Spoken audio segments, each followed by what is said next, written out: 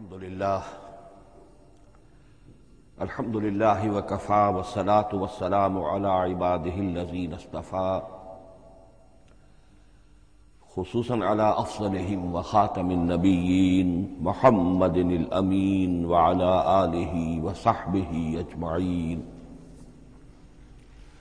अम्मा बाद फ़ाऊज़ु बिल्लाहि मिनश शैतानिर रजीम बिस्मिल्लाहिर रहमानिर रहीम रब शहली सदरी वयसरली अमरी वाहलुलुक़दतम लिसानी यफ़क़हू कौली।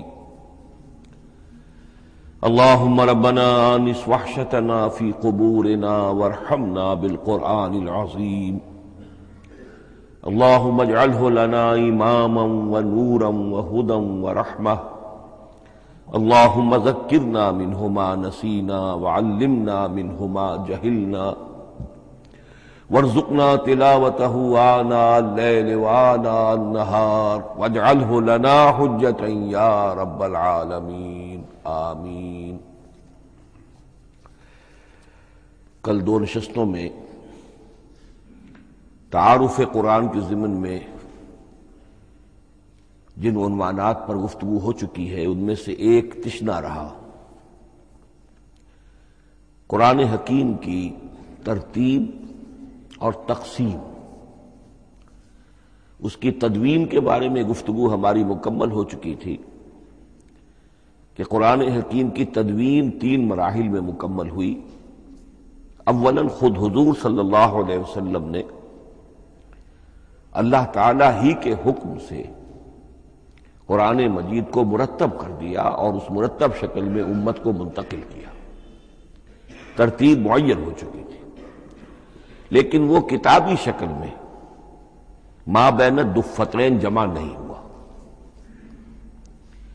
इसके बाद दूसरा मरहला आया, हज़रत अबू बकर सिद्दीक रज़ी अल्लाह तु के अहद खिलाफत के दौरान, जब बहुत से हुफाज शहीद हो गए जंग यमामा में तो तशवीश पैदा हुई कि कुरान हकीम को किताबी शक्ल के अंदर मुरतब भी कर लिया जाए, जमा कर लिया चनाच ये काम हज़रत अबू बकर सिद्दीक के अहद खिलाफत में पूरा हो गया और इसके लिए मुसहफ का नाम हज़रत अब्दुल्ला इबन मसूद की तजवीज़ पर हज़रत अबू बकर सिद्दीक रज़ी अल्लाह तु ने तय किया। लेकिन इसके चूँकि अभी पढ़ने के अंदाज में लोगों को काफ़ी आज़ादी दी गई थी कि अपने अपने लहजे के मुताबिक लोग पढ़ सकते हैं तो इससे महसूस हुआ कि अब उसके लिखने के अंदाज में भी फ़र्क आ रहा है। तो इसलिए ज़रूरत महसूस हुई कि उसका एक स्क्रिप्ट एक रस्मुल खत, जो मुतफ़न अलह हो, इजमाई हो, वो तय कर दिया जाए। चुनाच ये तीसरा मरहला हज़रत उस्मान रज़ी अल्लाह तु के अहद खिलाफत में तय पाया। इसीलिए इसको अब मुसफ़ उस्मानी कहते हैं। इसलिए कि वो रस्मुल ख़त अब हमेशा हमेश के लिए तय है। उसके ऑफिशियल नुस्खे तैयार किए गए और बड़े बड़े शहरों में जो भी उस वक्त उस मुसलमान ममालिक थे एक एक नुस्खा भेज दिया गया। और बाकी नुस्खे जो हैं वो तर्फ कर दिए गए। तो इस तरीके से गोया कि रुबा सदी के अंदर अंदर ये तीनों मरहले जो है मुकम्मल हो गए हैं। और जैसा कि मैंने अर्ज़ किया, सब तस्लीम करते हैं कि जो कुरान आज हमारे पास है, वो वही है बैन ही जो मोहम्मद रसूलुल्लाह ने अपनी उम्मत को दिया था। अलबत्ता जहाँ तक कुरान की तरतीब और तकसीम का ताल्लुक है, बास बातें तो मैं बयान कर चुका हूँ। उनका सिर्फ़ इजमाली अदा करूँगा। नंबर एक ये कि कुरान की जो बेसिक यूनिट है, बुनियादी इकाई, वो आयत है। आयत को हम जुमला नहीं कह सकते, आयत को वर्ष नहीं कह सकते, मिसरा नहीं कह सकते, उसकी उसी इस्तेलाह को हमें रिटेन करना होगा। आयतें छोटी भी हैं, बड़ी भी हैं। आयतें सिर्फ़ हरूफ मुकत्तात पर भी मुश्तमिल हैं और मुरकबात नाकसा पर भी मुश्तमिल है। पूरे पूरे जुमले की एक आयत भी है और कई कई जुमलों पर एक आयत भी मुश्तमिल है। ये तमाम उमूर तौकीफ़ी हैं, यानी हुजूर सल्लल्लाहु अलैहि वसल्लम के बताने पर मौकूफ अलह इनमें किसी के इज्तिहाद को किसी मंतिक, किसी ग्रामर, किसी नहव, किसी बयान के किसी उसूल को कोई दखल नहीं। जहाँ तक आयतों की तादाद का ताल्लुक है, वो मुख्तलफ फ़ी है, वो इतफाकी नहीं है। इसलिए कि छह, साढ़े छह हज़ार के लगभग आयात है। फ़र्क क्यों है? एक बड़ा फ़र्क तो इस वजह से वाक़ हो जाता है कि तमाम सूरतों के आगाज़ में जो आयत बिस्मिल्लाह लिखी हुई है, उसके जिमन में एक इख्तलाफ है कि आया हर मरतबा इस आयत को काउंट किया जाए या न किया जाए। सिर्फ़ एक सूरत है, सूरह तौबा, जिसके शुरू में आयत बिस्मिल्लाह नहीं है। बाकी 113 सूरतों के आगाज़ में बिस्मिल्लाह लिखी हुई है। तो बाद हजरात उसको समझते हैं कि ये काउंट नहीं की जाएगी, बल्कि ये तो दर हकीकत सिर्फ़ सूरतों के दरमियान फ़सल और फ़र्क कायम करने के लिए यह आयत बिस्मिल्लाह लिख दी गई है। तो आप समझिए कि जो इस पर इख्तलाफ होगा तो 113 की आदत का फ़र्क तो इसी से वाक़ हो जाएगा। बाज और मकाम पर भी आयात की तादाद में कदर इख्तलाफ है, वो रिवायात ही की बुनियाद पर। किसी शख्स को खुद यह हक हासिल नहीं है कि वो उसमें कोई फ़र्क कर सके तब्दीली कर सके। बहरहाल छह साढ़े छह हज़ार के लगभग आयात है कुरान हकीम की। आयतें मिलजुल कर सूरतों की शक्ल में है। इनकी तादाद मुतफक अलह है एक सौ चौदह। सूरत सूर से बना है, सूर के मानी फसील। है गोया कि हर सूरत जो है, वो अल्लाह ताला के इल्म, मार्फत, हिकमत का एक शहर है। सूरतों में आयात के बाहमी रब्त के हवाले से उसके मानी के अंदर और उसकी हिकमतों के अंदर इजाफा होता है। रब्त आयात। और जिस तरीके से कि मुख्तलिफ़ मोतियों को पिरो दिया जाए एक धागे में, उससे हार वजूद में आए, जो तरतीब होगी मोतियों की उससे उन मोतियों का हुसन दोबारा हो जाएगा। ऐसे ही मामला आयात कुरानिया का है कि जो एक सूरत के अंदर है और हर सूरत का एक मरकजी मजमून या उमूद होता है। और तमाम आयतें उससे मुंतलिक और उससे मुंसलिक होती है। इन सूरतों के बाद जैसा कि मैंने अर्ज़ किया, दौरे साहबा में हमें सिर्फ़ एक अतलाह और मिलती है, हिस्न और या मंजिल। वो इस सहूलत के लिए कि अगर एक हफ़्ते में पूरा कुरान खत्म करना हो, उसकी तिलावत मुकम्मल करनी हो तो रोज़ाना एक हिस्स पढ़ लिया जाए। ये चूँकि दौरे सहाबा में भी मस्कूर है, लिहाजा इसमें हम देखते हैं कि हुसन मौजूद है। यानी यह कि ना तो यह कबाहत है कि सूरतों को तोड़ा गया हो, बल्कि पूरी पूरी सूरतें शामिल हैं। कोई मसनू मसावत कायम करने की कोशिश नहीं है। कोई हिजब नस्बतन थोड़ा सा ज़्यादा बड़ा है, कुछ थोड़ा सा छोटा है। लेकिन तकरीबन मसावी है। खाम खा की कोई मसनू मसावत कायम करने की कोशिश नहीं है। और इसके बावजूद यह हुसन मौजूद है कि सूरह फातिहा को अगर हम अलहदा रख दें कि वह पूरे कुरान हकीम के लिए एक दिबाचा और मुकदमा है तो पहले हिजब या पहली मंजिल में तीन सूरतें, दूसरे में पाँच, तीसरे में सात, चौथे में नौ, पांचवी में ग्यारह, छठी में तेरह, ये सीढ़ी है बिल्कुल। और जो आखिरी हिजब मुफसल कहलाता है। इसमें चूँकि आखिरी पारे में आपको मालूम है छोटी छोटी सूरतें हैं तो तादाद पैंसठ है। वो भी जो आखिरी तादाद है तेरह, उसका मल्टीपल है। बहरहाल ये हिज्ब ये भी दौर साहबा में इसका तस तस्करा हमें मिलता है। अलबत् जो मजीद तकसीम की चीज़ें हमारे यहाँ मारूफ हैं, वो बात की चीज़ें रुकुओं में तवील सूरतों को तकसीम किया गया ताकि एक रकत में अगर तवील सूरत में से कोई आयात पढ़नी है तो उस तरह पढ़ी जाए कि मजमून टूटे ना। ये हजाज इबन यूसुफ के जमाने में ये काम हुआ है और बड़े गौर फ़िक्र से हुआ, और वाकता महसूस होता है कि मानवी जो रब्त और ताल्लुक है, उसको मलहूज रखा गया है। लेकिन जो दूसरी तकसीम हमारे यहाँ मारूफ हो गई है वो पारों की है, अव्वल तो ये मालूम नहीं कि यह तकसीम कब हुई। मजहूल जमान है ये। नंबर दो ये कि इसमें यह ज्यादती भी नज़र आती है कि सूरतों की फसीलें तोड़ दी गई हैं। गोया कि एक मसनू मसावत कायम करने के लिए कि तीस दिन में अगर कुरान मजीद ख़त्म करना हो, हर महीने में एक ख़त्म कुरान कोई शख्स करना चाहे तो रोज़ाना एक पारा पढ़कर, लेकिन यह कि इसमें वो हुसन मौजूद नहीं है, बल्कि ये कबाहत मौजूद है कि सूरतों काट दी गई इसके बाद अब जो बात मुझे अर्ज़ करनी थी वो ये है कि ज़्यादा अरसा नहीं गुजरा कि कुरान हकीम की तरतीब और तकसीम के जिमन में एक और हकीकत सामने आई है। और यह हकीकत यह है कि कुरान हकीम की सूरतों के ग्रुप्स हैं। अब ये चूँकि एक बिल्कुल माजी करीब का मामला है, इससे पहले यह ज़िक्र मौजूद नहीं था। अव्वल तो यह बात भी मान लीजिए कि कुरान मजीद में तरतीब और नज्म, इसके बारे में हमारे असलाफ ने न कोई ज़्यादा मेहनत की और न उन्होंने समझा कि इसमें कोई खास रब्त होना ज़रूरी है। लेकिन यह कि अहद हाजिर में मौलाना हमीदुद्दीन फराही रहमत हिंदुस्तान में एक ऐसे आलिम पैदा हुए कि जिन्होंने नज्म कुरान को अपना खास मौजू बनाया कि ये जो आयात बाहम जोड़ी गई हैं तो आखिर कोई हिकमत है? सूरतों में जो रब्त कायम किया गया है, यकीनन हिकमत पर मबनी है। वरना सबसे सीधी तरतीब तो जैसा कि मैंने कल अर्ज़ किया था यह होती, तरतीब नजूली से कुरान को मुरतब कर दिया जाता। लेकिन यह कि सूरतें, आपको मालूम है, तवील सूरतों में ऐसा भी है कि वो एक वक्त में नाजिल नहीं हुई। बल्कि मुतद अवकात में, सूरह बकरा जो है, वो तकरीबन दो साल में इसकी जो तंजील है वो मुकम्मल हुई। तो फिर कुछ आयतों को जोड़ना, किसको कहाँ रखना है, किसको कहाँ रखना है। तो ये हजूर सल्लल्लाहु अलैहि वसल्लम ने खुद किया है, अल्लाह ताला के हुक्म से किया है। तो ये चीज़ें हिकमत से खाली तो नहीं हो सकती। तो उन्होंने इसको खास अपना मौजू बनाया और उनके सामने बाज हकाइक आए हैं। वो हकाइक हैं जो अब मैं आपके सामने बयान कर रहा हूँ। इसमें एक इश्काल हो सकता है, उसे मैं चाहता हूँ कि पहले रफा कर दूँ।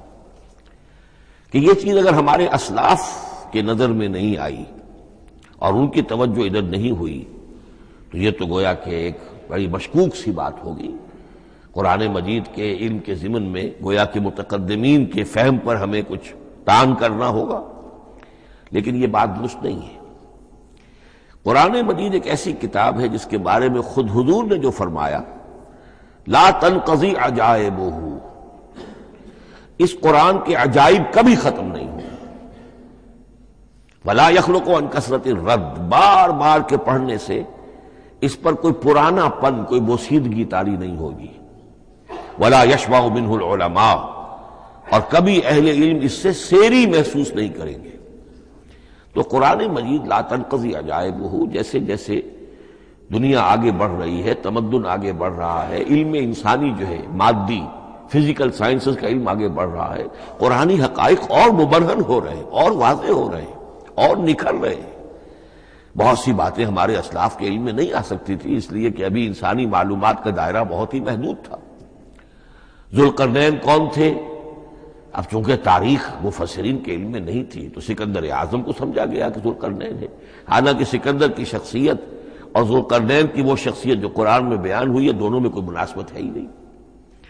इसी तरीके का मामला यह कि नज्म कुरान का एक पहलू कि जो अभी पूरी तरीके से आशकारा नहीं हुआ था, ये दौर वो है कि जिसमें अल्लाह की फजल करम से वो बात भी अब खुलकर सामने आई है। और इससे अगर हकीकत तोसीक हो रही है हुजूर के इस फरमान की कि ला तनकजी अजायब हूँ, इसके अजायब कभी खत्म नहीं होगी। इंसान मेहनत करेगा, कोशिश करेगा। ये हीरों की एक ऐसी कान है जिसमें से और हीरे निकलते चले जाएँगे। इसके जिमन में एक बात तो मैंने आपसे कल वर्ष कर दी थी और आज फिर भी कही है। सूरतों में भी एक रब्त है। आयात जो सूरतों के अंदर जोड़ी गई है। फिर सूरतें अक्सर और बेशतर जोड़ों की शक्ल में है। उसके कुछ मिसालें भी कल मैंने आपको दी थी। कुरान मजीद की एक आय मुबारक का है, वह मिन कुल शैन खलकना जौजैन लालकुम ताखिलून या लालकुम तजक्करून। मुझे पूरी तरह याद नहीं है। हमने हर शय को जोड़ों की शक्ल में पैदा किया। अगरचे इसको, चूँकि कुरान मखलूक नहीं है, हम इस पर उसका इतलाक नहीं करेंगे, लेकिन बिल्कुल शाइन खलक नाजौजैन इसमें इस कदर कैटेगोरिकल स्टेटमेंट है कि मालूम होता है कि यह उसूल इतना अल्लाह ताला के यहाँ इतना पसंदीदा है कि कुरान मजीद की सूरतों में भी, ये सूरतों के भी जोड़ों की शक्ल में होना ये बहुत ही अजहर मिन शब्द है। बास जगहों पर तो अजहर मिन शब्द है, बास जगहों पर जरा तदब्बर करके बात मालूम होती है। अलबत्ता कहीं कहीं आपको नज़र आएगा, कुछ मुनफरिद सूरतें भी हैं। और उनमें से बात या जब दौरान तर्जुमा ये चीज़ें आएँगी तो अब मैं सिर्फ़ उस वक्त हवाला दे सकूँगा, बड़ी तेज़ी से हमें चलना होगा। इस वक्त मैं चाहता हूँ कि जहन में यह हकायक बैठ जाए। बास जगहों पर आप देखेंगे तीन तीन सूरतों के ग्रुप हैं। उनमें से दो के माबैन तो नस्बत जौजियत कामिल है, बल्कि ये समझ लीजिए नस्बत जौजियत कहते किसको है? दो चीज़ें मिलकर किसी मकसद की तकमील करें। उन दोनों में ऐसी निस्बत होनी चाहिए, ऐसी प्रोकल, कि वो एक दूसरे की तकमील के लिए और किसी मकसद के हसूल के लिए उनके माबैन एक ताल्लुक कायम हो। ये जौजियत है। इसी तरीके से कुरान मजीद में जब सूरतें आती हैं, जोड़ों की शक्ल में तो किसी मजमून का एक रुख, वो एक सूरत में आ जाएगा, उसका दूसरा रुख दूसरी सूरत में आ जाएगा, और दोनों मिलकर, जिसे हम कहते हैं तस्वीर के दोनों रुख, वो रुख मुकम्मल हो जाएँगे, बात पूरी हो अलबत्त बात जगहों पर है तीन तीन सूरतों के सब ग्रुप्स हैं। मैं इस मामले में ग्रुप का लफ्ज रिटेन कर रहा हूँ, इसलिए कि कदीम तो ये तस्वुर था नहीं। जदीद असलाह है तो इसमें चूँकि अब बहुत से अल्फाज अंग्रेज़ी जबान के अब उर्दू में आ गए हैं कि उसकी जगह कोई और बहुत ही कोई कोशिश करके दस लाया जाए तो वो शायद ज़्यादा आम फहम नहीं होगा या आम फहम है। तो ग्रुप्स और सब ग्रुप्स छोटे ग्रुप बड़े ग्रुप तो ये छोटे ग्रुप जो है तीन तीन सूरतों के, इनमें से दो के माबेन तो नस्बत जौजियत बतमाम कमाल होगी और तीसरे की हैसियत जमीमे की होगी। इसकी मिसालें बाद में आएँगी। अलबत् ये जो जमीमें होते हैं, खुद इनके या जो दूसरी मुनफरद सूरतें हैं, खुद इनमें आपको फ़सल के साथ नस्बत जौजियत मिल जाएगी। इससे आगे चलिए, अब असल है वो शय जिसको मैं आज चाहता हूँ बयान करना। कुरान हकीम की सूरतों की एक ग्रुपिंग इस एतबार से सामने आई। कुछ सूरतें मक्की, फिर मदनी, फिर मक्की, फिर मदनी, फिर मक्की, फिर मदनी, फिर मक्की, फिर मदनी। ऐसा क्यों है? बड़ी काबिल गौर बात है। इसमें कोई हिकमत है? और अजीब बात यह सामने आई, इस एतबार से भी कुरान के सात ग्रुप बनते हैं। हर ग्रुप में एक या एक से जायद मक्की सूरत। और फिर एक या एक से जायद मदनी सूरतें, एक ग्रुप पूरा हो गया। दूसरे ग्रुप में फिर एक या एक से जायद मक्की सूरत फिर एक या एक से जायद मदनी सूरतें, वो फिर ग्रुप मुकम्मल हो गया। ये ग्रुप भी कुरान हकीम में सात है। ये ग्रुप जो है किरात के लिए नहीं है, ये ग्रुप जो मानवी तकसीम है, गौर फ़िक्र के एतबार से। कि हर ग्रुप का एक अमूद है, एक मरकजी मजमून है। और उस जिस तरीके से सूरतें दो मिलकर एक मजमून की तकमील करती हैं, इसी तरह हर ग्रुप की मक्की और मदनी सूरतें मिलकर एक बड़े मजमून की तकमील करती हैं। इस तरीके से गोया के ये कुरान मजीद में सात ग्रुप है बड़े बड़े जो कि जिसमें के सूरतें जो है वो जमा की गई हैं। मसलन मैं अब आपको इशारतन बता दूँ। पहले ग्रुप में सूरा मक्की जो है वो सिर्फ़ एक है सूर्य फातिहा। तादाद में तो एक है। वह अपने हजम के एतबार से छोटी भी है, लेकिन बहुत भारी सूरत है। वलकद आतना का सब बिन मसानी वल कुरान अजीम। महज इस सूरत को भी कुरान अजीम कहा गया है। लेकिन एक सूरत मक्की, सूरह फातिहा, फिर चार तवील तरीन सूरत मदनी, बकरा, आल इमरान, निसा, मायदा। दूसरे ग्रुप में दो सूरतें मक्की, दो मदनी। अल अनाम अल आराफ मक्कियात अल अनफाल अतौबा मदनियात तीसरा ग्रुप चलता है, चौदह सूरतें मुसलसल चली जा रही हैं मक्की, सूरह यूनुस से। सूरह यूनुस, सूरह हूद, सूरह यूसुफ, सूरह राग सूरह इब्राहिम। चलते जाइए, सूरह हिजर, सूरह नहल, सूरह बनी इसराइल, सूरह कहफ, सूरह मरियम, सूरह ताहा, सूरह अंबिया, सूरह हज और सूरह मोमिन चौदह सूरत अब आई एक मदनी सूरत, सूरह नूर।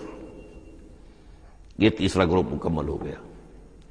चौथे ग्रुप में भी यही बात आपको नज़र आएगी। अल फुरकान से सूरह सजदा तक आठ सूरतें मक्की हैं, और फिर एक सूरत आती है, सूरतुल अहजाब। वो मदनी है। अब ये जो एक एक सूरतें आई हैं, सूरह नूर और सूरह अहजाब हर शख्स को अंदाज़ा हो जाएगा, ये आपस में जोड़े की शक्ल रखती हैं। इनके मजामी बहुत एक दूसरे से मुशाबे हैं, बहुत मुशाबे हैं। लेकिन यह कि वो उस तरीके का जोड़ा नहीं है कि उसी ग्रुप में उनका जोड़ा मौजूद हो, उसका जोड़ा जो है वो दूसरे ग्रुप में है। फिर आइए, पांचवा ग्रुप है सूरह सबा से अहकाफ तक। ये तेरह सूरतें मक्की हैं, और फिर सूरह मोहम्मद सल्लल्लाहु अलैहि वसल्लम से सूरत हजरात तक तीन सूरतें मदनी हैं। ये कुल सोलह सूरतें हैं। छठे ग्रुप में सूरह काफ से सूरह वाकया तक, सात सूरतें। ये मक्की है और सूरह हदीर से सूरह तलाक तक दस सूरतें मदनी हैं, ये सत्रह सूरतें हैं। आखिरी जो है, वो सूरतुल मुल्क से सूरतुल इखलास तक छियालीस सूरतें और सूरह मुआवजतैन जो है, ये दो है कि जो मदनी है। बास का इसमें इख्तलाफ है, वो मैं बाद में अर्ज़ करूँगा, लेकिन जो मेरी राय है, वो मैं आपके सामने रख रहा हूँ। इस तरीके से ये सात ग्रुप जो है कुरान मजीद में, सूरतों के वजूद में आए। हर ग्रुप का एक मरकजी मजमून है। मसलन, पहले ग्रुप का मरकजी मजमून शरीयत है। सूरह फातिहा में एहजन सिरातल मुस्तकीम ए अल्लाह हमें सीधा राह दिखा, सीधे रास्ते की हिदायत बख्श। अब वो सीधा रास्ता क्या है? शरीयत खुदाबंदी, शरीयत इलाही। और शरीयत मुकम्मल हो जाती है इन चार सूरतों में शरीयत मोहम्मदी का जो ब्लू प्रिंट है, इब्तदाई खाका जो है, वो आपको सूरह बकरा में मिलेगा और उसकी जो तकमीली सूरतें हैं, तकमीली अहकाम है, वो सूरह मायदा। इसके अलावा इस ग्रुप में जो ज़्यादा ज़ोर है, वो सबका उम्मत मुस्लिमा से गुफ्तो शनीद। सबका उम्मत मुस्लिमा में यहूदी और नसारा दोनों शामिल है। अब इन पर जिरह भी है, इन पर तनकीद भी है, इनको मलामत भी है इनको, उनकी करारदाद जुर्म उनके खिलाफ जो है वो भी दी गई है। और फिर यह कि उनको माजूल करके और नई उम्मत को इस मकाम पर नस्म करने का ऐलान है और उनको बड़ी जोरदार दावत है कि अब मोहम्मद पर ईमान लाओ और कुरान पर ईमान लाओ सल्लल्लाहु अलैहि वसल्लम। ये पहला ग्रुप है। इसी तरीके से हर ग्रुप का अब ये साथ साथ जब हम चलेंगे तो मैं तफसील के साथ बयान करता जाऊँगा कि इस ग्रुप का ये मरकजी मजमून है और इस तौर से ये सूरतें आपस में एक दूसरे के साथ मरबूत है। इन ग्रुपों में आपने देखा होगा कि पहले और आखिरी ग्रुप, इनकी एक रेसिप्रोकल सी सूरत है कि पहले ग्रुप में मक्की सूरत सिर्फ़ एक छोटी सी और मदनी सूरतें चार, छह पारे से जायद पर फैली। जबकि आखिरी ग्रुप में सारे दोनों पारे जो है सूर्य मुल्क से शुरू होकर मक्की सूरतों पर मुश्तमिल है। आखिर में आकर छोटी छोटी सूरतें, वो मदनियात है। ये एक दूसरे के बिल्कुल रेसिप्रोकल है। कॉन्वर्स लेकिन दूसरा ग्रुप इधर से और दूसरा उधर से, यानी छठा, ये बड़े मुतवाजिन है। दो सूरतें मक्की, दो मदनी। और उधर सात सूरतें मक्की और दस मदनी। लेकिन सात सूरतें जो है, वो तीन तीन रुकुओं की है। उनमें से एक चार रुकू की भी है। और अक्सर व बेशतर वो जो दूसरी है, वो दो दो रुकुओं की है। तकरीबन मुतबादल बनती है। तो दरमियान में जो है, उनमें जो मदनी सूरतों का हिस्सा बहुत कम है, अक्सर व बेशतर जो है, वो मक्की सूरतें हैं। इन मक्की सूरतों के अंदर भी जो छह ग्रुप तकरीबन बनते हैं, इसलिए कि पहली ग्रुप के अंदर तो मक्की सूरत सिर्फ़ सूरह फातिहा है। तो इनमें से पहले दो ग्रुपों में रिसालत का मजमून मरकजी मजमून दरमियानी दो ग्रुपों में तोहीद का मजमून, मरकजी मजमून है। आखिरी दो ग्रुपों में इंजार आखिरत का मजमून, मरकजी मजमून है। आखिरी सूरतें आपको मालूम है, सूरह काफ से शुरू होकर तो फिर ये इंजार आखिरत जो है, इन सब का मरकजी मजमून है।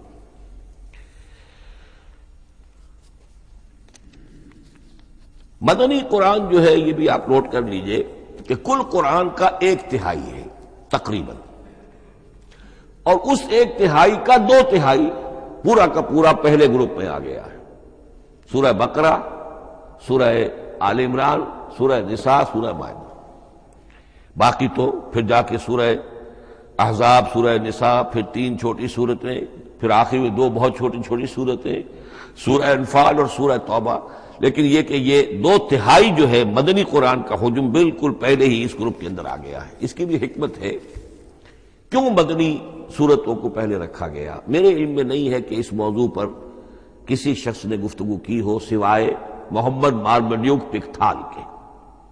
मेरे इल्म की हद तक हो सकता है कि किसी और मुफसर ने, किसी और, किसी महक्क ने कोई बात कही हो, उससे भी ज़्यादा वजनी कही हो, लेकिन मेरे इल्म की हद तक मालमड्यूक पिकथाल ने अपने तर्जुमे, जो तर्जुमा किया है अंग्रेज़ी में, उसके दिबाचे में इस मौजू पर गुफ्तु की है बड़ी, बहुत ही उमदा बात कही है।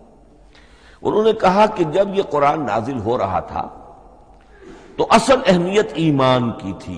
पहले लोग ईमान लाए, और फिर जो ईमान लाए, उनको फिर अहकाम दिए गए कि ये करो और ये ना करो, ये हलाल है, ये हराम है, ये फ़र्ज़ है, वगैरह वगैरह। लेकिन जब एक उम्मत वजूद में आ गई, उम्मत के वजूद में आने के बाद अब नस्लन मुसलमान पैदा हो रहे हैं। इनके यहाँ अब ज़रूरत पहले इस्लाम की है।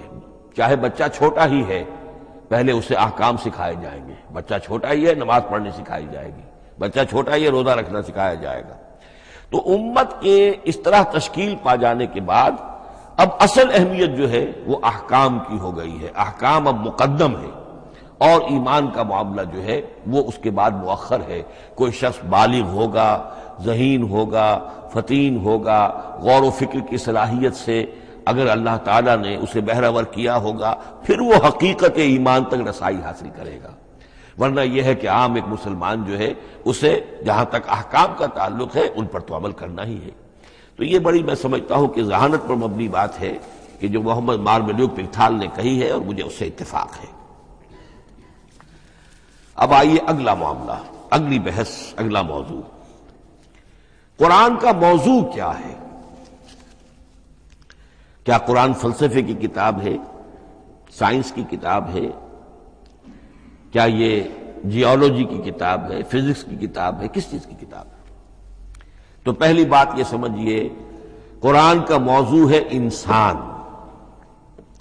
लेकिन इंसान की एनाटॉमी नहीं, इंसान की फिजियोलॉजी नहीं, इंसान की एंथ्रोपोलॉजी नहीं, कुछ नहीं। इंसान की हिदायत।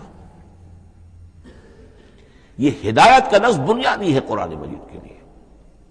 चुनाचे देखिए, जरा नोट कर दीजिए सूरह बकरा के शुरू ही में, हुदल मुत्तकीन फिर उसके वस्त में, हुदल नास सूरह यूनुस में फरमाया, हुदम व रहमतुल्लिलमोमिन सूरह लुकमान में फरमाया, हुदम व रहमतुल्लिलमोहसिनीन सूरत बकरा और नहल में फरमाया, नमल में, हुदम व बुशरा लिलमोमिन आल इमरान में, वह मौजतुल्मुत्तकीन हुदम व मौजतुल्मुत्तकीन फिर तीन मरतबा अल हुदा अरसल रसूल बिल हुदा व दीन दीन कुल्ली। अल हुदा हुदन नकेरा है अल हुदा मारफा हो गया। यानी हिदायत कामला हिदायत तामा हिदायत अबदी। इसी तरह सूरत नज्म में फरमाया वलक जाहम रब हुदा सूरतुल जिन में वन्ना लम्मा समेगल हुदा आमन्ना भी सूरह बनी इसराइल में वबा मन अंदासा मेनू इस जाहमुल हुदा। सूरह बनी इसराइल में भी ये अल्फाज आए, सूरह कहफ में भी आए। तो कुरान का मौजू है हिदायत। और इसको अब जहन में रखिए कि इंसान के इल्म के दो गोशे हैं। इल्म इंसानी दो हिस्सों में मुनकसिम है। एक हिस्सा है फ़िज़िकल वर्ल्ड का इल्म, जो हवास के ज़रिए से हासिल होता है। मादी हकाइक उनका इल्म। हवा से खबसा हमारा देखना, सुनना, सूंघना, चखना, छूना, ये तमाम सलाहियतें हैं। इनसे कुछ मालूम हासिल होती हैं और अक्ल का ये कंप्यूटर उनको प्रोसेस करता है, उससे नताई निकालता है। नताई निकाल के स्टोर कर लेता है। फिर मजीद कोई मालूम हवास के ज़रिए से हासिल होती हैं। अब उनको वो फिर प्रोसेस करके जो सबक मेमोरी स्टोर्ड है, उसके साथ रिकनसाइल करके कोई और नतीजा अखज करता है। इस तरह रफ्ता रफ्ता रफ्ता रफ्ता इंसान का ये इल्म बढ़ता चला जा रहा। और हम नहीं कह सकते कि अभी और कहाँ तक जाएगा। आज से चंद सौ साल पहले भी इंसान तस्वुर नहीं कर सकता था कि इंसानी इल्म वहाँ पहुँच जाएगा जहाँ आज पहुँच चुका है। इस इल्म का वही से कोई ताल्लुक नहीं। इस इल्म का ताल्लुक है, उन इसमें, इल्म असमा से जो हज़रत आदम में वनीयत कर दिए गए थे, बिल्कुल शुरू में। सुरह बकरा का चौथा रुकू जो है उसके शुरू में ज़िक्र है वह अल्लामा आदम कुल्ला अल्लाह ने आदम को तमाम नाम सिखा दिए। और उसके आखिर में ज़िक्र है जब फरिश्तों जब आदम को और, और अव्वा को हुक्म दिया गया कि अब ज़मीन में जाकर और वहाँ का चार्ज संभालो तो फरमाया वह इम्मा याती नकुम मिन्नी होदन फमन तब हुदाया फला खौफुल वला ज़रूर वो इल्म हिदायत है। ये दो चीज़ें बिल्कुल अलहदा है। इल्म असमा दर हकीकत यूँ समझिए कि जैसे आम की गुठली में पूरा आम का दरख्त होता है। वही तो गुठली है जो आप ज़मीन में दबाते हैं। फिर अगर पानी वहाँ पड़ता है, ज़मीन में रुईदगी भी है, वो गुठली फटेगी, वो जो उसमें से दो पत्ते निकलेंगे, वो पत्ते ऊपर बढ़ेंगे, दरख्त बनेगा, वो पूरा दरख्त जो है आम की गुठली में मौजूद था। सिर्फ़ उसे पूरा दरख्त बनने में दो साल, तीन साल, चार साल लगेंगे। लेकिन दरख्त मौजूद था पोटेंशियली बिलकुवा पूरा दरख्त आम की गुठली में मौजूद था। एक्चुअली बिल फेल, वो आम का दरख्त जो है कई साल के अंदर वजूद में आया। बैन ही यह मामला है, कुल मादी हकाइक का कुल इल्म हज़रत आदम के वजूद में वदियत कर दिया गया। पोटेंशियली अब उसकी एक्सफोलिएशन हो रही है। वो बढ़ता जा रहा है बरगोबार ला रहा है। और ये इल्म जो है, इसका ताल्लुक जैसा कि मैंने अर्ज़ किया, आसमानी हिदायत से नहीं है। अब ये खुद रो पौधा है बढ़ता चला जा रहा है। और कहाँ तक पहुंचेगा? अल्लामा इकबाल ने सही ताबीर की है, उरूज आदम खाकी से अंजुम सह में जाते हैं कि ये टूटा हुआ तारा महे कामिल न बन जाए। अल्लामा की ज़िंदगी में तो इंसान ने चाँद पर कदम नहीं रखा था। लेकिन यह कि अब तो चाँद पर कदम रखकर इंसान आ चुका। तो उरूज आदम खाकी से अंजुम सहमे जाते हैं कि यह टूटा हुआ तारा मह कामिल न बन जाए। यह है इंसानी इल्म। इस इंसानी इल्म के साथ अगर वो इल्म वही इल्म हिदायत न हो तो ये इल्म जो है बजाय खैर के शर बन है आज वो शैतानी कुत बन चुका है, वो इल्म। हलाकत का सामान बन चुका है। तबाही का ज़रिया बन चुका है। लेकिन इसके साथ दूसरी बात ज़रूरी थी, जो कि वही के ज़रिए से आने वाला इल्म था। फ़िम्मा याती होदन, फमन तब हुदाया, फला खौफुन वलासरून ये इल्मुल हिदायत जो है, ये दर हकीकत कुरान हकीम में आकर मुकम्मल हो गया। इसके लिए भी मैं चाहता हूँ कि बात आप समझ लें। इसमें जो इर्तका हुआ है, पहली किताबें नाजिल हुई, उनमें भी हुदन तो थी। कल भी मैंने आपको आयत सुनाई थी सूर्य माहिदा की, इन्ना अल्लाह तौरा फीहा हुदम व नूर। हमने तौरात नाजिल की थी, उसमें हिदायत भी थी, नूर भी था। उसी रुकू में, सातवां रुकू है वो सूर्य मायदा का, इंजील के बारे में फ़ी है हुदम व नूर। उसमें भी हुदन भी थी हिदायत भी थी, नूर भी था। लेकिन ये हिदायत और ये नूर दर्जा बदर्जा तरक्की कर रहा है। यहाँ तक कि कामिल हुआ है, कुरान में आकर अल हुदा बन गया है। अब ये हुदन नहीं अल हुदा कामिल हिदायतनामा, उसकी वजह क्या है? देखिए, एक बच्चे को अगर आप तालीम देना चाहते हैं तो उसकी जहनी सतह को मलूल रखे बगैर तो नहीं दे सकते। आप चाहे पीएचडी उस्ताद रख दें किसी बच्चे के लिए बच्चा भी प्राइमरी की तालीम पा रहा है, वो पीएचडी का उस्ताद क्या कुछ पिला देगा? उसको क्या पढ़ा देगा उसको? उसकी अपनी इस्तेदाद जो है अभी इतनी कम है कि उसी की मुनासबत से उसे तालीम दी जाएगी। रफ्ता रफ्ता वो आगे बढ़ेगा। यहाँ तक कि वो अपने पूरी अक्ल के और शूर की पूरी शिद्दत और कुत को पहुँच जाएगा, बुलूगत को पहुँच जाएगा, अब उसे आखिरी पढ़ाया जाएगा। अब उसे फलसफा पढ़ाया जाएगा। पहले वो हिस्ट्री पढ़ रहा था, अब फिलोसफी ऑफ़ हिस्ट्री पढ़ेगा। इस हवाले से तदरीजन। अल्लाह ताला ने तौरात में सिर्फ़ अहकाम है, हिकमत है ही नहीं। इंजील में हिकमत है, अहकाम है ही नहीं। दोनों मिलकर एक बात को मुकम्मल करती हैं। तौरात में सिर्फ़ अहकाम है, हिकमत है ही नहीं। जैसे कि मैंने अर्ज़ किया था, बच्चे को आप बता देते हैं, भाई रोजा टूट जाता है इस तरीके से, रोज़े का मतलब यह है अब दिन भर खाना कुछ नहीं है, चाहे बच्चा अभी छह साल का है, सात साल का है, आठ साल का है, आप बता रहे अहकाम तो दे दिए जाए। ये करो, ये ना करो, ये डूज है, ये डोंट्स है।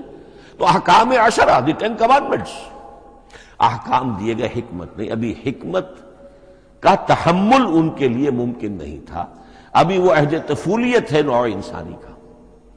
यूँ समझिए कि आज से साढ़े तीन हज़ार साल कबल का इंसान चौदह सौ कबल मसीह में तौरात दी गई है हज़रत मूसा को। अब ये दो हज़ार मसीह आने वाला है तो चौंतीस सौ साल पहले की बात है तो इंसानी जहन अभी जिस सतह पर था। यहाँ तक कि दो हज़ार साल पहले हज़रत हज़रत मसीह के भी अल्फाज इंजील में मौजूद हैं, अब भी मौजूद हैं। अपने हवारीन से आपने फरमाया था, अभी मुझे तुमसे और भी बहुत सी बातें कहनी थी, मगर अभी तुम उनका तहमुल नहीं कर सकोगे जब वो फारकलीत आएगा तो तुम्हें सब कुछ बताएगा। ये पेशन गोई थी मोहम्मद अभी तुम तहमुल नहीं कर सकते। अभी 600 बरस और चाहिए तुम्हारी जहनी बलोगत के लिए। तो अल हुदा मुकम्मल हुआ है कुरान हकीम में आकर। अलबत् एक नुकता इसमें नोट कीजिए। कुरान मजीद अगरचे किताब हिदायत है, साइंस की किताब नहीं है। लेकिन इसमें साइंटिफिक फिनोमिना की तरफ़ इशारे मौजूद हैं।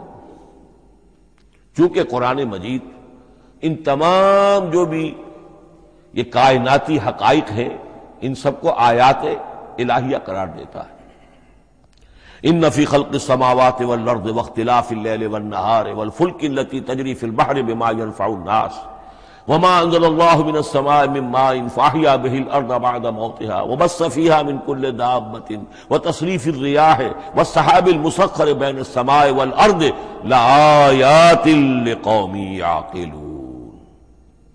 ये सब निशानियाँ हैं अल्लाह की। अल्लाह की कुदरत, अल्लाह की अजमत, अल्लाह के इल्म कामिल, अल्लाह की हमत बालगा, सब निशानियाँ। तो ये जो फ़िज़िकल फिनोमिना है, इनकी तरफ़ कुरान रेफर करता है। बाज हकाइक वो है कि जिनका ताल्लुक एस्ट्रोनॉमी से कुल्लुन फ़ी फलकी यसमून ये तमाम अजराम समाविया जो है, ये अपने अपने मदार में तैर रहे हैं। मालूम हुआ हर शय हरकत में है। इंसान पर तो एक दौर ऐसा गुजरा है, वो ये समझता था ज़मीन साकिन है और सूरज हरकत कर रहा है। फिर एक दौर आया, कहा, नहीं नहीं, सूरज साकिन है, ज़मीन हरकत करती है, उसके गिर चक्कर लगाती है। और आज हमें मालूम हुआ हर शय हरकत में, हर शय। सूरज का भी अपना एक मदार है, उसमें वो हरकत कर रहा है, अपने पूरे कुनबे को लेकर। ये पूरा सोलर सिस्टम उसका कुनबा है, इस पूरे कुनबे को लेकर, वो भी एक मदार में हरकत कर रहा है। तो मालूम हुआ कुल फ़ी फलकी यसबहूर अब ये कुल का नफ्स, जिस तरह मुनक्का होकर, जिस तरह मुबरहन होकर जिस शान के साथ आज वो अवैदा हुआ है वाजे हुआ है, आज से पहले इंसान को मालूम नहीं था। तो ये जो फ़िज़िकल फिनोमिना है, जिनकी तरफ़ कुरान मजीद रेफर करता है, ये अगरचे कुरान का असल मौजू नहीं है। लेकिन एक बात जान लीजिए कि कुरान मजीद में इन फ़िज़िकल फिनोमिना के बारे में जो बात कही गई है, वो गलत नहीं हो सकती। और ये वो हकीकत है कि जो इस दौर में आकर इतनी वाजे हुई है आपने नाम सुना होगा डॉक्टर मॉरिस मुकाई का। ये फ्रांसीसी सर्जन थे उन्होंने मुताला किया कंपेरेटिव स्टडी की, कुरान, बाइबल दोनों की। बाइबल से मुराद ओल्ड टेस्टमेंट न्यू टेस्टमेंट दोनों। और वो इस नतीजे पर पहुँचा कि पूरे कुरान में कोई एक लफ्ज ऐसा नहीं है जिसे हमारी सारी साइंसी इंकशाफात में से किसी ने गलत साबित किया। जबकि तौरात में बेशुमार चीज़ें ऐसी हैं कि साइंस उन्हें गलत साबित कर चुकी है। The science the Quran and the Bible अब यह बात बड़ी अहम है। इसको बड़ी खूबसूरत अंदाज में डॉक्टर रफीउद्दीन मरहूम ने कहा है कि ये कायनात अल्लाह का फेल है, अमल है। उसकी तखलीक है, उसकी तदबीर है। और कुरान अल्लाह का कौल है। कौल अमल में तजाद मुमकिन नहीं। आम इंसान के कौल अमल में तजाद मुमकिन नहीं, अल्लाह के कौल फेल में और कौल अमल में तजाद हो सकता है। हाँ यह हो सकता है कि एक दौर में इंसानों ने बात समझी ना हो, उनका जहन वहाँ तक पहुँचा ना हो, उनकी मालूम का दायरा अभी इस हद तक हो कि उन हकाइक तक ना पहुँचा हो, लेकिन जैसे जैसे वक्त आएगा, मजीद हकाइक मुनकशिफ होंगे और ये बात और ज़्यादा से ज़्यादा वाजे से वाजे तर होती चली जाएगी कि जो कुछ कुरान में लिखा है वही बरहक है। हाँ, आज से पहले इंसानी जहन उस हद तक रसाई हासिल करने का अहल नहीं था। और यह है दर हकीकत आयत, कुरान हकीम की। यह सूरह हामी मसैदा की लास्ट बटवन आयत है। सनूरी हिम आयातना फिल आफाक वफी अनफुस हिम हत्ता यतबैन नहुम अन्नहुल हक। हम इन्हें दिखाते चले जाएँगे। अपनी निशानियाँ आफाक में भी, अनफुस में भी। सनुरीहिम आयातना फिल आफाके वफी अनफुसहिम हत्ता यतबैन लहुम। यहाँ तक कि यह बात पूरी तरह निखर कर मुबरहन होकर इनके सामने वाजे हो जाएगी। अन्नहुल हक, के कुरान हक है। और इसी की हकीकत जो है, जैसा कि मैंने अर्ज़ किया, एक तो मॉरिस बुकाई को जेन में रखिए और एक और शख्स, कनाडा में एक बहुत बड़ा डॉक्टर है कि जो एम्ब्रियोलॉजिस्ट है और उसकी जो टेक्स्ट बुक्स है, जो एम्ब्रियोलॉजी पर इल्म जनीन, यानी रहम मादर में जो बच्चे की परवरिश होती है, कैसी होती है किन किन स्टेजेस से गुजर कर होती है, ये इल्म जनीन या एम्ब्रियोलॉजी। तो स्टैंडर्ड टेक्स्ट बुक है दुनिया में उसकी डॉक्टर कीथिल मूर की। और वो हैरान रह गया कि मैंने जब कुरान का मुताला किया कि आज से चौदह सौ बरस कबल जबकि ना माइक्रोस्कोप थी, ना डिसेक्शन होता था अभी ह्यूमन बॉडी का। ये हकाइक जो कुरान बयान कर रहा है वलकत खलक इंसान अमिन सोलानत माई महीन सुम जालना नुतफ़तन फ़ी करार मकीन सुम खलक नुतफ़त आलकतन फ़लक नल आलकत मुजगतन फ़लक नल मुजगत इज़ामन, फ़कसौन इज़ाम ये कहाँ से मालूम हुए? और वाक़ यह है कि इससे ज़्यादा सही ताबीर मुमकिन नहीं। तो ये हकाइक में रखिए कि अगरचे कुरान मजीद साइंस की किताब नहीं है। लेकिन जिन साइंसी हकाइक या जिन साइंसी फिनोमिना की तरफ़ कुरान ने रेफर किया है, वो यकीनन हक है, चाहे ताहाल हम उनकी हक्कानियत को न समझ पाए। मसलन आज भी मुझे नहीं मालूम कि कुरान जो सात आसमान कहता है तो सात आसमान से क्या मुराद? मुझे नहीं मालूम। लेकिन मुझे यकीन है कि एक वक्त आएगा तो इंसान समझेगा कि ठीक ठीक ये अल्फाज जो है, सात आसमान, ये मुंतबिक होते हैं इस हकीकत पर, जो आज हमारे इल्म में आई है, पहले नहीं आई थी। अलबत् एक और नुकता जो बहुत अहम है, अमली एतबार से। मैंने इसीलिए ये सारी तमहीद की है कि कुरान साइंस की किताब नहीं है, न साइंस की है, न टेक्नोलॉजी की है। इस हवाले से एक बड़ा मंतकी नतीजा निकलता है। और वो ये है कि अगर हमारे असलाफ ने कुरान की इन आयात का कोई खास मफहूम मुन किया अपने दौर की मालूम की सतह पर, हमारे लिए लाजिम नहीं है कि हम उसकी पैरवी करें। साइंसी फिनोमिना को जो साइंसी तरक्की हो रही है, उसके हवाले से समझेंगे। यहाँ तक कि अब आखिरी बात अर्ज़ कर रहा हूँ, खुद हुजूर का फरमान भी उसमें कतई नहीं होगा। यह बात बहुत शकील और ग्रां गुजरेगी बहुत से लोगों पर। साइंस और टेक्नोलॉजी में अगर हुजूर की कोई हदीस भी सामने आ जाए तो उसको भी हम कोई दलील कतई नहीं समझेंगे। उसकी वजह क्या है? एक वाक्य बहुत अहम हुआ हुजूर की ज़िंदगी में। हुजूर जब हिजरत फरमाकर तशरीफ़ लाए मदीना मुनवरा तो आपको मालूम है कि हुजूर की पैदाइश मक्के की सारी ज़िंदगी आपने वहाँ गुजारी। वो वादी गैर जी जरा है, वहाँ कोई पैदावार, कोई ज़रात कोई काश्त होती नहीं थी। आपको कोई तजर्बा सिरे से नहीं था। हाँ तजारत का तजर्बा था, भरपूर तजारत की थी। यहाँ आए तो आपने देखा, खजूरों के सिलसिले में अंसार मदीना, ताबीर नखल, वो उसका एक अतलाह है। खजूर एक ऐसा पौधा है जिसका एक फीमेल फ्लावर होता है और एक मेल अलहदा। अब मेल फ्लावर और फीमेल फ्लावर इन दोनों को करीब ले आए तो उससे इस बात का ज़्यादा इम्कान हो जाता है फर्टिलाइजेशन हो और फल बने और ज़्यादा आपको फल हासिल हो, फ़सल ज़्यादा हो। अगर वो फासले पर रहेंगे तो हो सकता है कि उसका इम्कान कम हो तो वो इनको करीब जोड़ देते थे। हुजूर ने देखा तो आपने फरमाया कि आप लोग ऐसा न करें तो क्या है? यानी नेचर जो है nature can take care of itself आखिर फितरत है, फितरत ने ये सारी चीज़ें बनाई है, आप ऐसा ना करें तो क्या है? सिर्फ़ ये कहा आपने आपने रोका नहीं, लेकिन ज़ाहिर बात है साहबा किराम के लिए रिजवान तजमाइन हजूर का इतना कहना भी गोया कि हुक्म के दर्जे में था। उन्होंने उस साल वो काम नहीं किया। फ़सल कम हो गई। अब वो डरते डरते झिझकते झिझकते हजूर की खिदमत में आए। हजूर आपने फरमाया था, हमने वो नहीं किया। ताबीर नखल इस साल नहीं की हमने। फ़सल कम हुई है।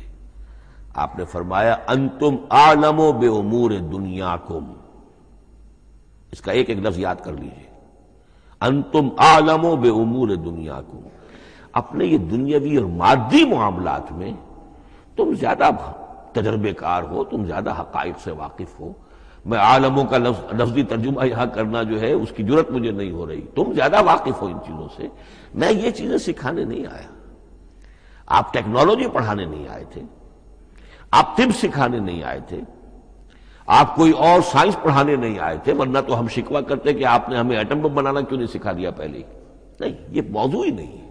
कुरान का मौजू मुन होना चाहिए। कुरान का मौजू इंसान की हिदायत।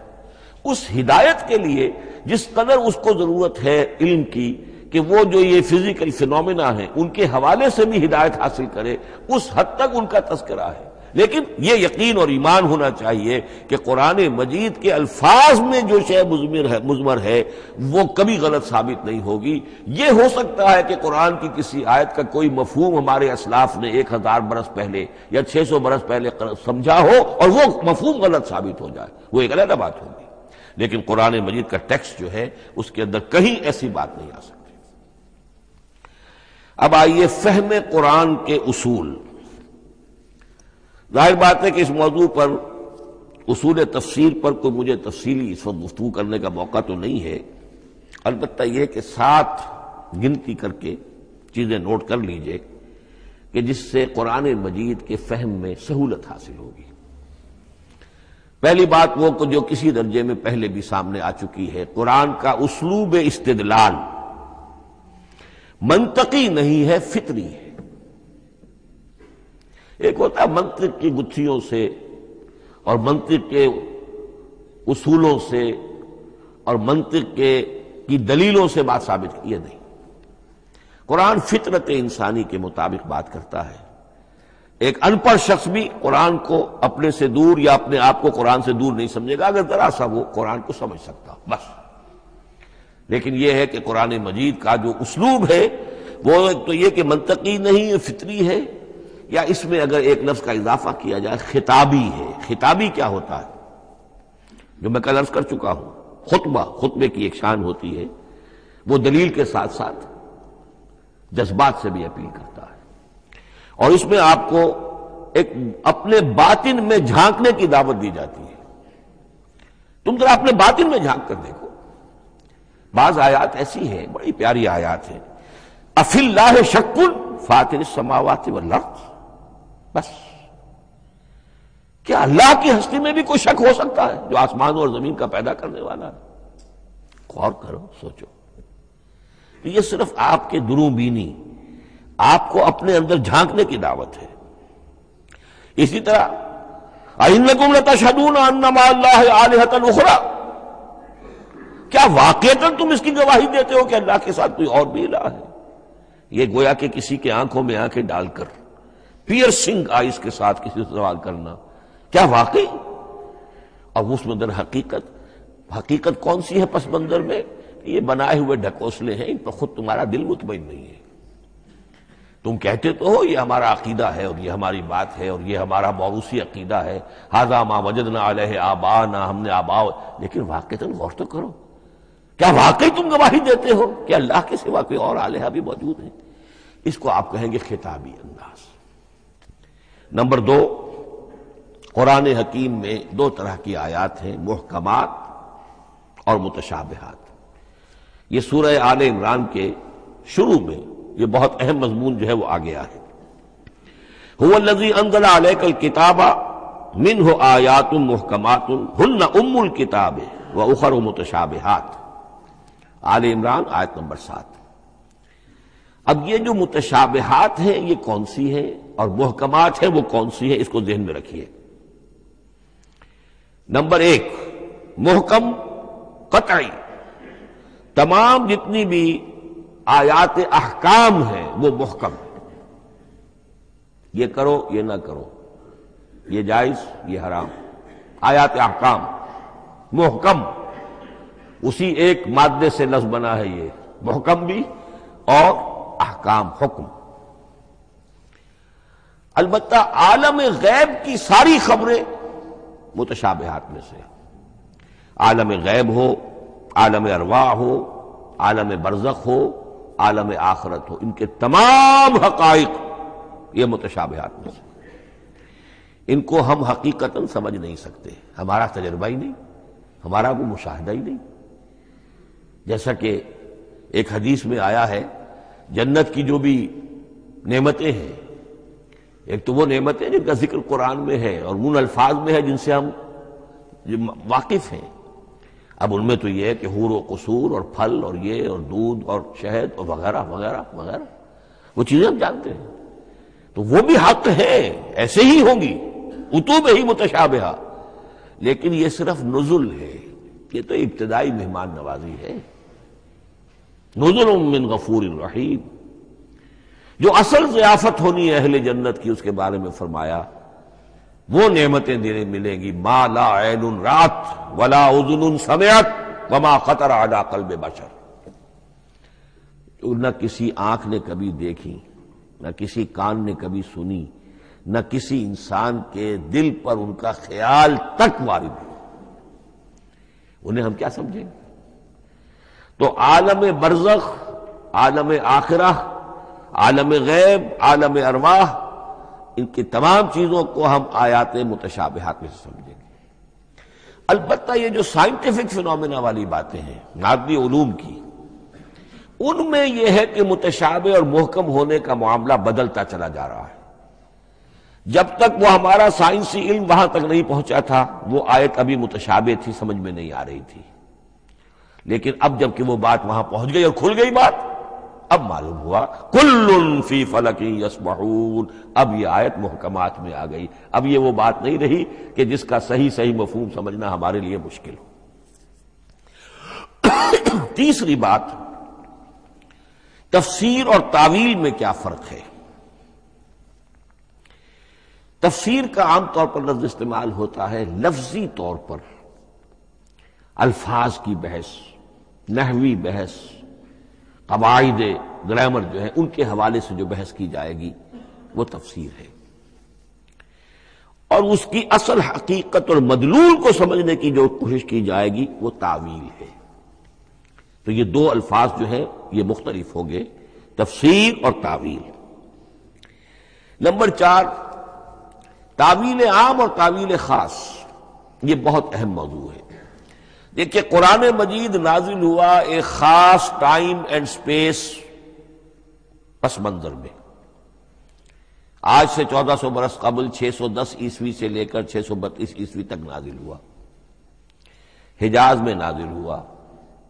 उसकी एक अव्वलीन मुखातब कौम थी, वो अनपढ़ कौम थी। उम्मी कौम थी। पढ़े लिखे शास अशादुकल मादूम के दर्जे में थे। वहाँ फलसफे का सवाल नहीं, कोई मंतिक की बात नहीं, कुछ भी नहीं। और अव्वलीन मुखातब वही है। और जो भी हालात हैं उस वक्त के, उनके हवाले से बात की जा रही है। अब कुरान मजीद की हर आयत पर अव्वलन गौर होगा इस एतबार से, जब ये नाजिल हुई है तो इसका उस वक्त क्या मफहूम समझा गया? उस खास कॉन्टेक्स्ट में टाइम एंड स्पेस कॉन्टेक्स्ट में क्या मफहूम समझा गया? यह है तावील खास। लेकिन अब दूसरी तरफ़ देखिए, यही किताब किताब हिदायत है अबदुलबाबाद तक के लिए। इसी किताब को बीसवीं सदी ईस्वी के इंसान के लिए भी हिदायतनामा बनना है। अगर दुनिया तवील है और 500 बरस तक है तो पच्चीसवीं सदी ईस्वी के इंसान के लिए भी हिदायतनामा यही किताब बननी है। ये अरब के उम्मीन के लिए हिदायतनामा थी तो ईरान के फलसफियों के लिए भी तो हिदायतनामा थी। लिहाजा उन अल्फाज के अंदर यह कुरान के एजाज का वो पहलू है जो बहुत नुमाया है, कि इन अल्फाज के अंदर, कि जो एक खास कॉन्टेक्स्ट में नाजिल हुए, और उस वक्त उनका एक मुन मफहूम समझा गया, उन्हीं में वो उमूम भी मौजूद है, कि उसी से हमेशा हमेश के लिए हिदायत अकस की जा सकती इसको हम कहेंगे तावील आम। उस कॉन्टेक्स्ट से जरा निकाल कर, अब उस आयत के अल्फाज, उसका दरोबस्त उसका मा सबक, उसके बाद माँ बाद, सियाक सबाक, इसके हवाले से बैठकर बात की जाए। तावील खास में शान नजूल पेश नज़र रहेगा। तावील आम में और उस आयत के अल्फाज, उनका दरोबस्त और आयत का सयाक सबाक, ये ज़्यादा जेर बहस रहेगा। तो मालूम हुआ कि ये दोनों चीज़ें अपनी अपनी जगह अहम हैं। न तो इंसान सिर्फ़ तावीर खास तक अपने आप को महदूद कर ले। अगर वो करेगा तो गोया कि वो सिर्फ़ उस दौर का कुरान पढ़ रहा है। आज का कुरान वो नहीं पढ़ रहा। कुरान के अंदर तो वाकता ये शान है कि मैं जिसके लिए अल्फाजी इस्तेमाल किया करता हूँ कि हर दौर के, हर दौर के उफक पर एक खुर्शीद ताज़ा के मानंद तुलू होगी ये किताब। मालूम होगा आज का कुरान है ये, हमें आज मिला है कुरान। और गोया कि आज जो हमें मसाइल है, दरपेश है, उनका हल है जो ये कुरान पेश कर रहा है। ये उसका एजाज है, ये उसका कमाल है। इस एतबार से नोट कीजिए, तावील खास और तावील आम, ये अल्फाज चूँकि बार बार दौराने दौरा तर्जुमा आएँगे तो इसलिए मैंने इन असलाह से चाह कि आप वाकिफ हो जाए। एक और इसमें बात समझने की है तजक्र और तदब्बर। कुरान से बुनियादी हिदायत हासिल कर लेना। इसके लिए कुरान इंतहाई आसान है।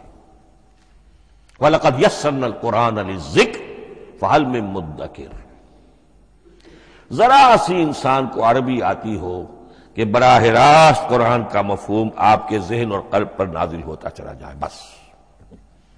कुरान का असल जो पैगाम है, जो उसकी असल हिदायत है इसकी तमसील यूँ समझिए कि समंदर में अगर कोई ऑयल टैंकर जो है टूट जाए तो मीलों जो ऑयल होता है, वो सतह समंदर के ऊपर फैल जाता है। सतह पर रहेगा, नीचे तो जाएगा नहीं।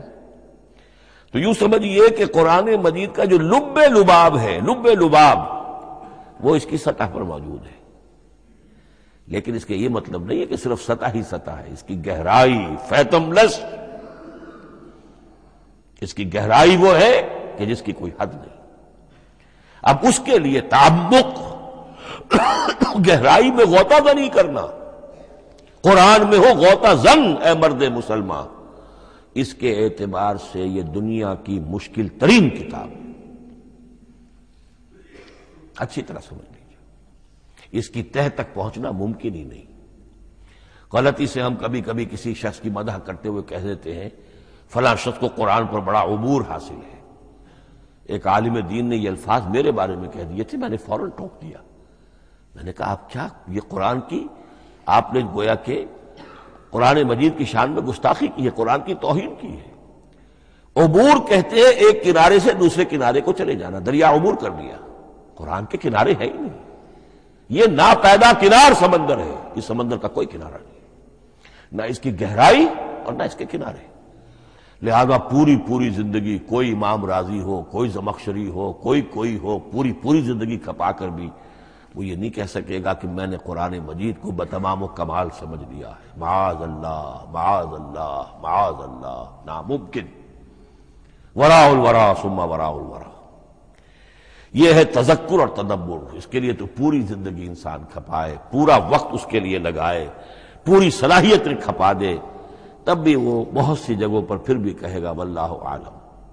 इमाम राज़ी को भी न मालूम कितने मकाम पर जाकर यह कहना पड़ा है कि अल्लाह बेहतर जानता है। एलमन मकाम मकाम अमीकुन मुहीबुन। ये मकाम तो बहुत मुहीब है, पुरहैबत है, बहुत गहरा है, बहुत गामिज है। इमाम राज़ी कह रहे हैं, तीस जिल्दों में तस्वीर लिखने वाला शख्स। अकूल कौली हाजा वस्तफ़ुल्ला वलकुम वलसाइल मुस्लिमीन।